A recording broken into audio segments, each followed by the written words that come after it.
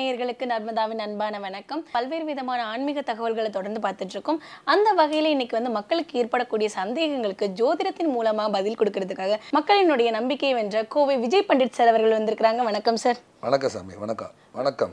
வாழ்க வளமுடன் வாழ்க வளமுடன் வாழ்க வையகம். இப்போ வந்து ஒருவேளை வந்து அந்த வீட்டுக்கு குடி போனதுக்கு அப்புறம் உங்களுடைய மனசு திருப்திக்கு ஒரு பரிகாரம் பண்ணுங்க அப்படின்னா என்ன பரிகாரம் நீங்க சொல்லுவீங்க சார்? மன திருப்திக்கு அப்படிங்கும்பொழுது உப்பு மஞ்சளோட போங்க. பொதுவாக அது எல்லாரும் யூஸ்ஃபுல்லாக செய்கிறது இப்போ கொ கொங்கு மண்டலத்துலலாம் யாராவது வீடுக்கு புதுசாக ஒரு வீடு வாங்குறாங்க வீடு பண்ணுறாங்கன்னா யாரும் மஞ்சள் குங்குமம் மஞ்சளும் உப்பும் யாரும் கொண்டே கொடுக்க மாட்டாங்க. அது யாரும் கொடுக்கறது இல்லை.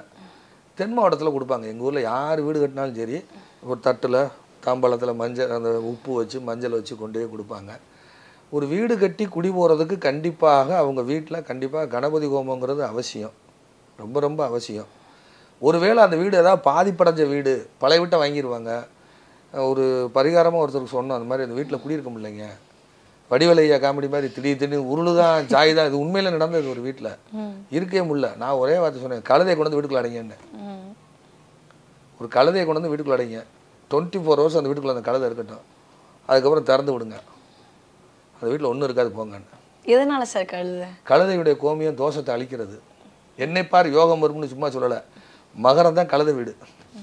காலபுருஷனுக்கு மேசம் ரிஷபம் மிதுனம் கடகம் சிம்மம் அஞ்சு கன்னி துலாம் அதுக்கப்புறம் விருச்சிகம் தனுசு மகரம் பத்தாம் இடம். மகரம் தான் வந்து உங்களுக்கு கழுத வீடு. அதனால நிறைய தொழில் நிறுவனங்களில் பூரா பத்தாம் இடம் தான் தொழில். தொழில் நிறுவனங்களில் பூரா பாருங்கள் என்னைப்பார் பார் யோகம் போட்டிருப்பாங்க ரைட்டா அப்போ அதுக்கு நேராக ஆப்போசிட் வீடு கடக வீடு. சந்திரனுடைய வீடு. சந்திரன் தான் காலபுருஷனுக்கு நாலு கூடையவன். மேசம் ரிஷபம் மிதுனம் கடகம். கடகத்துக்கு நேர் ஆப்போசிட் மகரம் அப்போ வீட்டில் இருக்கக்கூடிய அந்த துக்க சம்பவங்களோ வேற நெகட்டிவ் எனர்ஜியோ வீட்டுக்குள்ளே கழுதையை கொண்டு வந்து அடைச்சாச்சுன்னா தோஷம் போயிடும் கழுதை வீட்டுக்குள்ள அடைச்சா என்ன செய்யும்? கோமியம் போகும். மோசம் போகும். கழுதையினுடைய எனர்ஜி அங்கே உள்ள இருக்கக்கூடிய நெகட்டிவை காலி பண்ணிடும் புதுசா இருக்கு சார் உண்மையிலே கழுதை அது. கழுதை கோமியம் வீட்டுக்குள்ள தெளிக்க சொல்லியிருக்கேன். அதே மாதிரி கும்டி காயின்னு ஒன்று இருக்குது வரி கும்டி காயின்னு இருக்கும். இந்த தரையில் அப்படியே படர்ந்து இருக்கும். செம்மண் தரையில் தான் அது அதிகமாக இருக்கும். அந்த கும்டி காயை கொண்டு வந்து தண்ணியில் அடித்து உடச்சி தண்ணியில் ஊற வச்சுட்டு காலையில் எழுந்து வீட்டு வாசலில் தெளிச்சிடணும். அடிச்சு எப்பேற்பட்ட நெகட்டிவ் வீட்டுக்குள்ளேயும் தெளிச்சோன்னா எப்பேற்பட்ட நெகட்டிவ் ஓடி போயிடும். யானை கோமியம் தெளிக்கிறது மிகப்பெரிய தோஷத்தை அடிக்கும். நீங்கள் கோயிலில் சாமி ஊர்வலம் போகும்போது முன்னாடி என்ன போகுது? யானை தானே போகுது? ஆமா. யானைகிட்ட எதுவுமே வராது. நீங்கள் கேரளத்தில் பார்த்தீங்கன்னா எல்லா ஊர்வலமும் யானை ஊர்வலம் இல்லாம யானை இல்லாமல் ஊர்வலமே இல்லை. சாமி ஊர்வலம் நீங்கள் குருவாயூரில் பாருங்கள் எங்கே போனாலும் சரி ஒரு சின்ன கோயிலில் திருவிழாவாக இருந்தாலும் யானை கொண்டு வந்து பாட்டிடுவாங்க யானைக்கு வந்து எல்லா தோஷத்தையும் அடிக்கக்கூடியது. ஒரு பொண்ணுக்கு ஏழில் குரு கல்யாணமே ஆகலை சரி கல்யாணம் ஆகணும். யானைக்கு போய் தீவனம்லாம் வாங்கி கொடுத்துட்டு யானை தாவளத்தில் ஏதாவது சுத்தம் பண்ணிட்டு வந்துட்டு திருமணத்துக்கு முன்னாடி ரெண்டு யானையை கொண்டு வந்து நிப்பாட்டுங்க மண்டபத்தில். அவ்வளோ காசு இல்லை சாமி. யானை சிலையாவது வைங்க. வச்சு கல்யாணம் ஆச்சு தோசை அடிபட்டு போச்சு. ம். குரு தான் யானை. இருக்கிற பிளானட்லேயே பெரிய பிளானட் குரு தான் ஜூபிட்டர். குரு தான் யானை. யானை பார்க்குறது யோகம்மா. யானை கிட்ட போய் நிற்கிறது எந்த கிரகமும் கிட்ட வராதும்மா. ம். குரு பார்க்க? கோடி நன்மை. யானையை பார்த்துட்டு வரவங்களுக்கு எந்த அதனால நீங்கள் கேரளத்தில் எல்லா வீடுகளையும் பாருங்கள் அந்த யானையுடைய நெத்தி மாதிரியே எல்லா வீட்லேயும் அந்த ஆர்டிக்கல் வச்சுருப்பாங்க. கேரளம் வந்து உங்களுக்கு மேற்க தண்ணி மேற்க தண்ணி. அதனால தான் ஜென்ஸ் மேக்ஸிமம் எல்லாம் அப்ராடில் இருப்பாங்க. மேற்கு அதிபதி யார்? சனி. தெற்கு அதிபதி யார்? உங்களுக்கு தெற்கு அதிபதி உங்களுக்கு வந்து செவ்வாய் ரெண்டு காம்பினேஷன் சந்திக்கிற இடம் தான் உங்களுக்கு கேரளம். மேக்ஸிமம் ஆண்கள் மேக்ஸிமம் ஊர் அங்கே இருக்க மாட்டாங்க அதிகமாக அப்ராடில் தான் இருப்பாங்க. பெண்கள் மட்டும் தான் அங்கே அதிகமாக இருப்பாங்க. அவங்க வீடுகளெல்லாம் பாருங்கள் அந்த யானையினுடைய சிம்பல் வீட்டில் வச்சுருப்பாங்க. யானை தலை அந்த யானைக்கு அந்த நெற்றியில் ஒரு அழகா ஒன்று போடுவாங்க தெரியுமா? ஒரு அங்கி மாதிரி. அதெல்லாம் வச்சுருப்பாங்க. கார்கள்லேயே வச்சுருப்பாங்க. கொடை வச்சுருப்பாங்க. நம்ம கார்லேயே கொடை பிடிக்கிற மாதிரிலாம் வச்சுருப்பாங்க. இதெல்லாம் தோஷத்தை போக்குறது.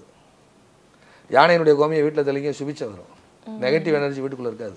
ஆனால் சார் நான் பார்த்த வரைக்குமே நிறைய வித்தியாசமான பரிகாரங்கள். அந்த பரிகாரம் சொல்கிறது மட்டும் இல்லாமல் அந்த பரிகாரத்துக்கு பின்னாடி இருக்கக்கூடிய ஒரு கிரகத்தினுடைய அந்த ஜாயின் அதாவது அந்த கிரகத்தினுடைய சேர்க்கையை சேர்த்து ஒரு விஷயத்த வந்து பரிகாரமாக கொடுக்குறீங்க. அந்த விஷயம் வந்து கண்டிப்பாக நிறைய பேருக்கு வந்து ஒர்க் அவுட் ஆகிருக்கு அது நல்ல விஷயங்களே அவங்களுக்கு கொடுத்துருக்கு. ஆனால் நிறைய சில ஜோதிடர்கள் இன்னைக்கு வந்துட்டு அந்த விஷயங்களை ஃபாலோ பண்ணுறாங்க அதாவது நீங்கள் சொல்லக்கூடிய இந்த எளிமையான பரிகாரங்களை அவங்களுமே சொல்கிறாங்க அதை நீங்கள் எப்படி பார்க்குறீங்க சார்? அதான் நான் பரிகாரம் டெஃபனேஷனோட சொல்கிறேன் சும்மா எத யதார்த்தமாக ஒரு பரிகாரம்னு சொல்கிறாங்கன்னா ஒரு ஆர்வ கோளாறுல சொல்கிறது தான் நெல்லுக்கும் பாய்வது புல்லுக்கும் பாயட்டும்னு நான் அதை எடுத்துக்கிறேன் அவ்வளவுதான்.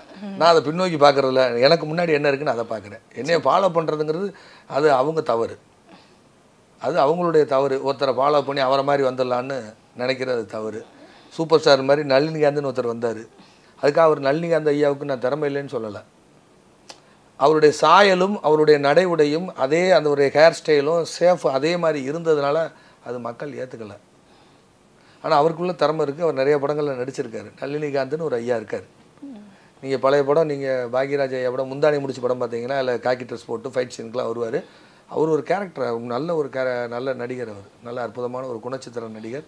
தெலுங்குலலாம் அவர் ஹீரோவாக நடிச்சிருக்காரு. தமிழ்லேயும் நடிச்சிருக்காரு ஒரு சில படங்கள். ஆனால் அவருக்கு அங்கே அந்த அந்த சக்ஸஸ் கொடுக்கல. ஒரு இளையராஜா தான். ஒரு இளையராஜா ஐயா தான்.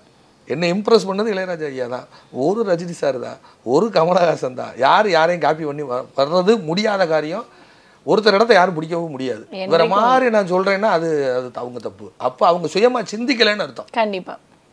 இவரை மாதிரி நம்ம சொல்கிறோம் பார்க்குறவங்க என்ன நினைப்பாங்க? என்கிட்ட பார்க்குற கிளைண்ட்டே சொல்லுவாங்க. நிறைய கிளைண்ட்டு ஏன்னா நான் இன்னைக்கு நேற்று நான் பேசலை. நான் ரெண்டாயிரத்தி பதினெட்டுலையே நான் பேசியிருக்கேன். என்னுடைய யூடியூப் சேனலில் பழைய வீடியோஸ் பார்த்தீங்கன்னா அப்போவே வந்து என்ன சொல்லியிருப்பேன் அப்படின்னா புத்திர ஜெயால இடம் வாங்குறீங்களான்னு மலேசியா பற்றி பேசியிருப்பேன்.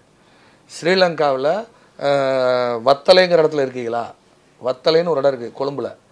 அதே மாதிரி கொழும்புல இருக்க சிட்டியில் கூடிய பேர்களை போட்டு அந்த ஜாதகத்தை போட்டு வத்தல்னா மிளகா இவருக்கு நாலாம் இடத்துல இருக்குது அப்போ ஸ்ரீலங்காவில் வத்தலையில் இருக்காருன்னு நான் போட்டிருப்பேன். என்றைக்கு ரெண்டாயிரத்தி பதினெட்டில் இவங்களாம் அன்றைக்கி எங்கே போனாங்க? என்னோட வீடியோ பார்த்துட்டு பேசுகிறாங்கன்னு கிளைண்டே சொல்லுவாங்க. ஐயா உங்களை மாதிரியே பேசுகிறாங்க ஐயா. அது பேசினா பேசிட்டு போகிறாங்க விடுங்க. அவங்க சிந்திக்கலைன்னு அர்த்தம். இதை நான் எனக்கே போட ஆரம்பிச்சிட்டேன். ஸோ கற்றலுக்கும் அதாவது நிழலுக்கும் நிஜத்துக்கும் நிறைய அது வித்தியாசம் இருக்கு நான் வந்து அதை நான் குறை சொல்ல ஃபாலோ பண்ணால் எனக்கு ஒன்றும் கவலை இல்லை. ஓகே சார் அதை நான் வந்து அதாவது என்னை பின்னாடி வந்து நான் மேலே போயிட்டே இருப்பேன் இன்னொரு பக்கம். பெரிய பொருளா ஜோதிடம்ங்கிறது என்னன்னா இப்படி தாம்பாளத்தை வச்சு நின்றுக்கிட்டே இருக்கும். நீங்க கிட்ட நெருங்கி போக போக பின்னாடி போயிட்டே இருக்கும். ம். இன்ன வா இன்ன வா வான்னு இழுத்துக்கிட்டே போகும். நான் அதை நோக்கி நான் போய்கிட்டு இருக்கேன். புதுசு புதுசா நிறைய படிச்சுக்கிட்டே இருக்கேன்.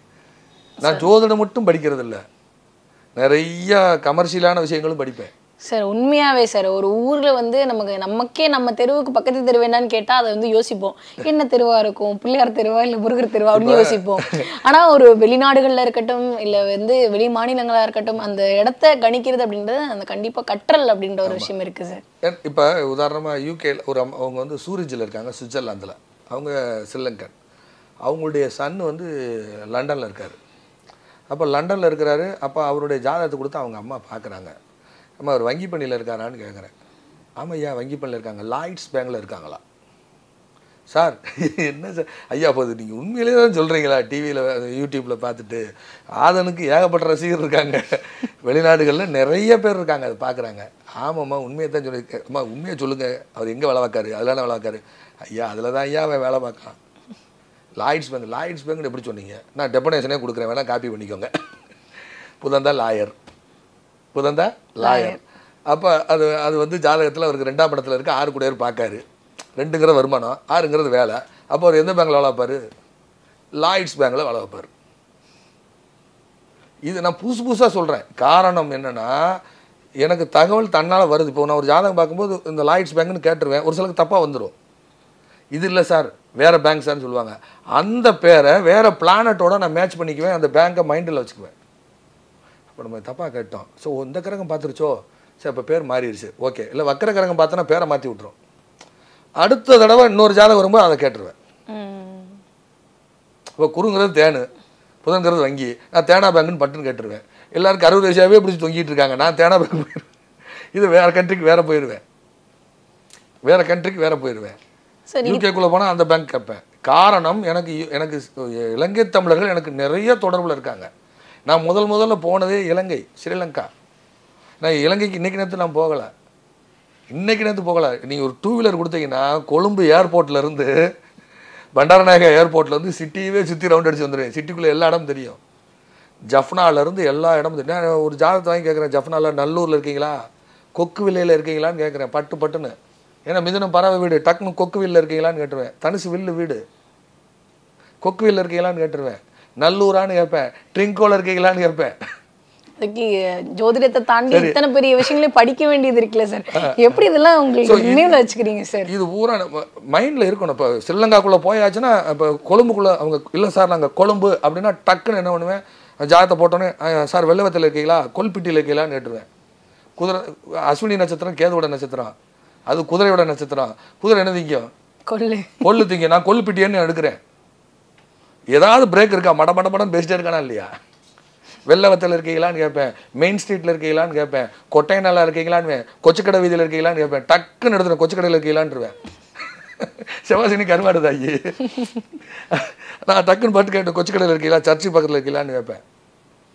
அதுக்கு ஒரு பெரிய அதே மாதிரி அதே மலையகம் போயிட்டீங்கன்னா போதும். டக்குன்னு பண்டார விலையில் இருக்கீங்களான்ருவேன் ம், பண்டார விலையில் இருக்கீங்களா? சரி கட்டணில் இருக்கீங்களா? பதுளையில் இருக்கீங்களா? அந்த அந்த ஏரியா ஃபுல்லாக அப்படி மைண்டுக்குள்ளே வச்சுருப்பேன். சரி இவ்வளோ படிச்சு இத்தனை விஷயங்களையும் தெரிஞ்சுக்கிட்டு நீங்க ஒரு ஜோதிடத்தை வந்து பேசுறீங்க. அப்படிங்கிறப்போ ட்ரோல் பண்றாங்க சார் நிறைய யூடியூபர்ஸ் வந்துட்டு உங்களுடைய வீடியோக்களை வச்சு பாருங்க என்னென்னலாம் சொல்றாங்க பாருங்க அப்படின்ற மாதிரி ட்ரோல்லாம் பண்றாங்க. அதை நீங்க எப்படி பாக்குறீங்க சார்? என்னை வச்சு அவங்க ட்ரோல் பண்ணி ரெண்டு காசு சம்பாதிக்கட்டுமே. அதுக்கான பிரயோஜனம் இருக்குல்ல? சம்பாதிச்சா சம்பாதிச்சுட்டு போறாங்க. அவங்களுக்கு ஏதாவது இன்கம் வரும்ல? அதனால எனக்கு ஒன்றும் இல்லை. பண்ணா பண்ணிட்டு போட்டேன் எனக்கு என்ன? அவங்களுக்கு இந்த நாலேஜ் இருக்குன்னு அவங்களுக்கு தெரியும் என்னை பற்றி தெரியாதுல்ல. பழகுனா தானே தெரியும். கண்டிப்பா கண்டிப்பா. ஒரு புத்தகத்தை படிச்சா தான் தெரியும். படிக்காம இதில் என்னமோ இருக்குன்னு விமர்சனம் பண்ணக்கூடாது. அதை நான் கண்டுக்கிறது இல்லைம்மா. அது எனக்கு ஒரு முதல்ல ஒரு ஃபீல் பண்ணேன். எல்லாருக்கும் இருக்கும்ல. நானும் ஒரு மனுஷன் தானே. கண்டிப்பா நம்மளையும் இப்படி பண்ணுறாங்க சரி நம்மளை வச்சு ஒரு ரெண்டு வருமானம் சம்பாதிக்கிட்டோம். நான் வைக்கிறதுக்கு ஆள் இருந்தால் தான் நான் வளர முடியும். திட்டுறதுக்கு ஆள் கொடுத்து நீ சம்பளம் கொடுக்கலாம்னு வச்சிருக்கேன். நீ ஆள் கொடுத்து ஒரு பத்து பேருக்கு இந்தப்பா மாச சம்பளம் தெரியல திட்டு. அப்போ திட்ட திட்டத்தை திண்டுக்கல் நம்ம ஊரில் சொல்ல திட்ட திட்டத்தாலே திண்டுக்கட்டு திண்டுக்கல் வைய வையத்தாலே வைரக்கல்லுன்னுவா. அதனால சொன்ன சொல்லிட்டு போறாங்க. சம் எதிரி இல்லாமல் வளர முடியாது. கண்டிப்பா கண்டிப்பா சார் நான் கூட நெகட்டிவ் ஆகிட்டு என்னுடைய நண்பர்கிட்ட கூப்பிட்டு பேசினேன். "அண்ணே, சம்பளம் கொடுத்து ஆள் போடுங்கண்ணே. பத்து பேரை வச்சு காசு கொடுங்கண்ணே. திட்டவனு கூப்பிட்டு ஒரு சால் வாங்கி போட்டு சாப்பாடு வாங்கி கொடுங்கண்ணே. அப்போ தானே ரெண்டு வார்த்தை அவன் போய் பேசுவான். அவர் யதார்த்தமான ஆள். எனக்கு ரொம்ப க்ளோஸ் ஃப்ரெண்டு ரொம்ப ரொம்ப நண்பர். என்னன்னு நீங்கள் இதை போய் போய் இல்லைண்ணே என்னைய போய் ட்ரோல் பண்ணி விட்டுருக்காங்கண்ணே அண்ணே சம்பளத்துக்கு ஆள் கொடுத்துக்கணும். எதிரி இல்லாமல் ஒருத்தால் வளர முடியாது. இப்போ கமல் சார் ரஜினி சார் ரொம்ப நண் நண்பர்கள் தான். ரொம்ப திக் ஃப்ரெண்ட்ஸு தான். ஆனால் எதிர்ப்புக்குன்னு அவர் அந்த தொழிலில் ரெண்டு பேருக்கும் போட்டி இருந்துச்சா இல்லையா? இவர் தச அவதாரத்தையும் காட்டினாரு. அவர் சும்மா தலைமுடி மட்டும் தூக்கி விட்டு போயிட்டாரு. புரியுதா இல்லையா? அப்போ ஒரு எதிர்ப்பு இருந்தா தான் ஒருத்தர் வளர முடியும். கண்டிப்பா கண்டிப்பா. அது அரசியலா இருக்கட்டும் ஜோதிடமா இருக்கட்டும் ஒரு தொழிலா இருக்கட்டும். அப்பதான் தொழிலை நம்ம மாத்தி செய்யணுங்கிற எண்ணம் நமக்குள்ள வரும். கண்டிப்பா. எதுக்கு ஒரு கடைப்பட்ட அது வரைக்கும் அசால்ட்டா இருப்பான் படுத்துங்குவான் எதுக்கு ஒருத்தர் கடைப்பட்டதுக்கு அப்புறம் தான் வந்து காலைல வெள்ளனே கடை திறப்பான் நான் ஒரு நாள் சொல்லிட்டே இருப்பேன் இவர் எவனாவது கடை போடவுக்கு அப்புறம் தான் நீ கடைக்கு ஒழுங்காக வர போற. கணேசன் நம்ம ஃப்ரெண்டு கணேஷ் ஏத்தாப்புல கடை போட்டு கடை போட போகிறான் அதுக்கப்புறம் தான் நீ கடைக்கு கரெக்டாக வருவேன்னு. அதெல்லாம் ஏன் வர்றான் பார்ப்போம் அப்படின்னா. கடை போட்டதுக்கப்புறம் காலைல ஆறு மணிக்கு திறக்கிறாப்புல. ஐயோ வியாபாரம் போயிருமேன்னு. அது மாதிரி எதிர்ப்பு வேணும். எதிரிக்கு சம்பளம் கொடுக்க நான் தயார். என்னை ட்ரோல் பண்ணி சம்பாதிக்கணும் சம்பாரிச்சுக்க அவ்வளோதான் எனக்கு ஒன்றும் இல்லை. சார் நான் இங்க அதுக்காக நான் பிரயோஜனப்படுறேன் இல்லை. Super sir. எந்த ஒரு விஷயத்தையும் நம்ம வந்து படிக்காம பேசுறது இல்ல அப்படின்றதுல வந்து ஸ்ட்ராங்கா இருக்கிறதுனால தான் இந்த ஒரு பதில் உங்களால கொடுக்க முடியுது அப்படின்றது எங்களால நான் கூட. டென்ஷன் ஆகி கூட பேசினேன். என்னம்மா என் வீடியோ எல்லாம் பண்ணிட்டாங்க அப்படின்னு. என்னை தனியா கூட வச்சு பண்ணிட்டு போ. அதாவது ஒரு ஒரு ஈக்குவலான ஒரு நபரோட கமெண்ட் பண்ணியிருந்தா கூட பரவாயில்ல. நமக்கு அந்த ஆளுக்கு சம்மந்தமே இல்லை. அவரோட படத்தை போட்டு இன்னொரு ஆள் படத்தை போட்டு என் படத்தையும் போட்டு அது போட்டா போட்டு போறாங்க. என்னால அவங்களுக்கு வருமானம் வருது இல்ல என் காசால நீ திங்க. திண்டு போ. எங்க ஊர்ல சந்தோஷமா. இருந்துட்டு போ. சரி ஒரு ஜோதிடம் வந்து என்னதான் வந்து கருத்துக்குள்ளாக்குனாலும் இந்த ஜோதிடத்துல இருக்கக்கூடிய விஷயங்கள்லாம் போய் நீ எத்தனை பேர் சொன்னாலுமே கூட தமிழர்கள் வந்து இன்னைக்கும் நினைச்சு பெருமைப்படக்கூடிய ஒரு விஷயம் அப்படின்னா நம்மளுடைய ஜோதிட கலை. அந்த கலையை வந்து பாதுகாத்துட்டு இருக்கக்கூடிய உங்க மாதிரி உங்களை மாதிரி நிறைய ஜோதிடர்களுக்கு எங்களை மாதிரியான மக்கள் வந்து நன்றி கடன் செய்ய வேண்டியதுக்கு கடமைப்பட்டிருக்கோம். இந்த மாதிரியான எதிர்மறையான கருத்துக்கள் எதிரையும் மனசுல வச்சுக்காம இன்னும் தொடர்ந்து உங்களுடைய பணி வந்து நீண்டுகிட்டே இருக்கணும். மக்களுக்கு நிறைய நல்ல விஷயங்களை எடுத்து சொல்லணும் அப்படின்றது எங்களுடைய ஆதன் சார்பாக உங்ககிட்ட வந்து கேட்டுக்கிறோம். சார் ரொம்ப நன்றி நன்றிமா நன்றிமா வணக்கம். வாழ்க வளமுடன். வாழ்க வையகம். வாழ்க வையகம்.